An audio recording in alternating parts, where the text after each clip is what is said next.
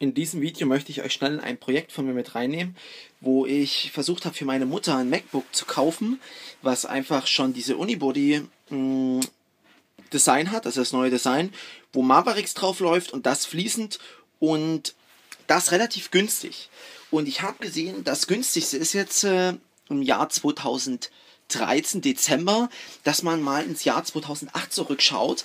Und da gab es nämlich eine MacBook-Generation, die genau dieselbe ja, Gehäusefabrikation hat, die auch noch in den aktuellen 2013er MacBook Pros verwendet wird.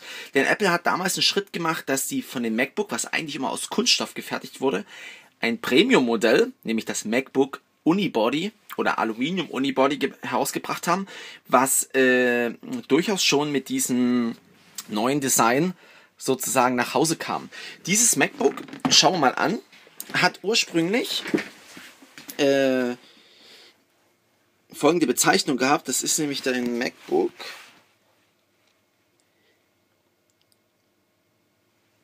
Ja, MB467DA, hat 2,4 GHz, zweimal 1 GB RAM und 250 GB im Prinzip. Und dieses MacBook kauft man sich bei eBay, also MacBook 2008 Unibody muss man da suchen. Vergesst nicht, dass ihr wirklich darauf achtet, dass es nur ein MacBook ist. Also das Pro hat da nichts zu suchen.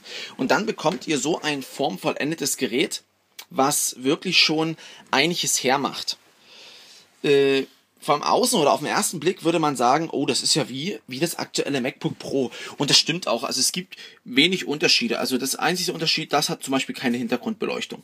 Äh, hier an den Display sieht man nur das MacBook-Zeichen. Und von der Seite ist es so, dass man keinen SD-Kartenslot hat. Man hat noch sogar so ein Kensington-Lock.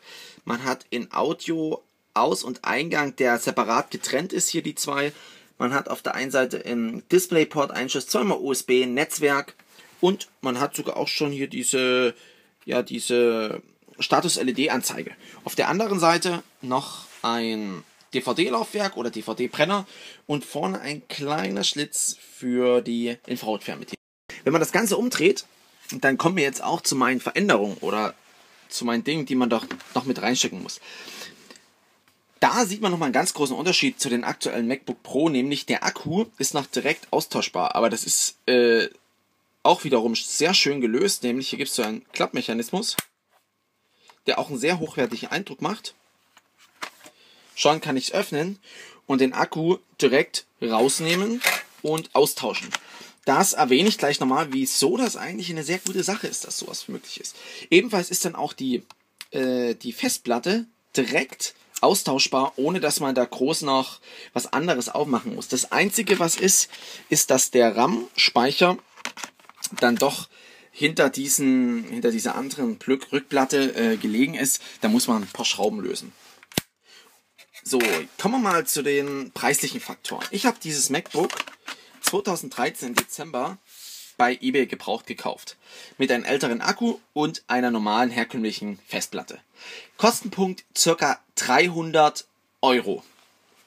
300 Euro muss man bedenken, dass das weiterhin ein Gerät war, was schon eine größere Festplatte hat. Also es hatte 320 GB statt standardmäßig 250 und man hatte 4 GB RAM anstatt 2 GB RAM. Also hier hat der Vornutzer schon was gemacht. Der Akku war runter, und somit habe ich circa für 40, 50 Euro nochmal einen Original Apple Akku gekauft für das MacBook, was der aber schon gebraucht war. Also ich habe nur 170 Ladezyklen, das ist ein guter gebrauchter Zustand. Der ursprüngliche Akku, der hier schon durch war, hatte 1000 Ladezyklen. Aber das Interessante ist, selbst der 1000 Ladezyklen Akku hat noch eine Stunde und 15 Minuten gehalten. Er ist also bei weitem noch nicht durch, obwohl man sagen muss, hey, 1000 Mal, da ist das Gerät durchaus oft genutzt worden. Weiterhin habe ich noch eine SSD reingesteckt, 120 GB von Crucial, eine M4 für circa 50 Euro. Und jetzt starten wir das Gerät mal und das geht jetzt los. Wir sind jetzt bei 4 Minuten 39. Mal sehen, wie lange der braucht zum Hochfahren. Ach so, ich habe hier noch äh, ja, den Ruhezustand aktiviert gehabt. Deswegen lädt er jetzt alles, was er noch brauchte, aus dem RAM heraus.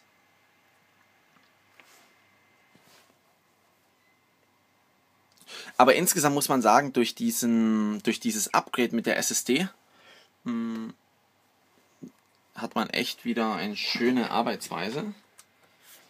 So, also wir sehen hier den, den Rechner. Wie schnell hier alles sich äh, öffnet. Und da läuft auch das aktuelle Mavericks ohne Probleme drauf. Mein Internet ist jetzt ein bisschen langsam heute. Ich habe leider nur einen UMTS-Stick und dementsprechend äh, geht das nur so jetzt. Aber insgesamt, alles in allem muss ich sagen, dass ich für am Ende 400 Euro einen schönen Rechner habe, der einen relativ neuen Akku hat, eine SSD hat und auf den äh, macOS Mavericks lauffähig ist, also das aktuelle Betriebssystem von macOS. Und da kann ich sagen, dass ich mich gar nicht beschweren muss, sondern das voll und ganz begrüßen kann, dass man dadurch auch für relativ wenig Geld ein, äh, ein MacBook bekommt, was gebraucht ist, aber wo man noch viel Spaß haben wird, weil jetzt Standardfehler bei dieser Version sind mir nicht bekannt. Also das Motherboard, das hält eigentlich durch. RAM-Riegel kann man aufrüsten, Festplatte kann man ausrüsten, Akku kann man, gerade weil er so flexibel ist, auch nachkaufen für circa 50 Euro. Und da würde ich sagen, für 400 Euro so ein Gerät ist durchaus eine Überlegung wert. Und ihr seht auch, obwohl das so alt ist, hat es wirklich von dem Gehäuse her, der ist es nicht abgenutzt. Auch die Tastatur, hier gibt es keine Abnutzungserscheinung, dass irgendwas abgegriffen ist. Weil eben Apple einfach hochwertig ist, kann man auch getrost ein älteres Modell kaufen. Ja, selbst wenn wir jetzt nochmal das umdrehen und auf die, auf die Füße schauen, dann sieht man auch hier, dass es da äh, wenig Abnutzung gibt und man könnte jetzt denken, das Gerät ist vielleicht ja, ein, zwei Jahre alt, aber wenn man überlegt, dass es 2008 rausgekommen ist, dass das Gerät schon fünf Jahre alt ist, da ist das durchaus ein, schöner, ja, ein schönes Preis-Leistungs-Verhältnis. Und ich würde sagen, es ist eine Kaufempfehlung wert. 400 Euro für ein gebrauchtes Gerät. Für die Eltern alle Male gut. Auch für einen Studenten, der neu mit dem Studium anfängt. Für Facetube-Stoff, also E-Mail schreiben, Internet und so, alle Male ausreichend und man hat App Store und iMessage Zugang durch macOS Mountain Lion. Äh, ich meine natürlich Mavericks.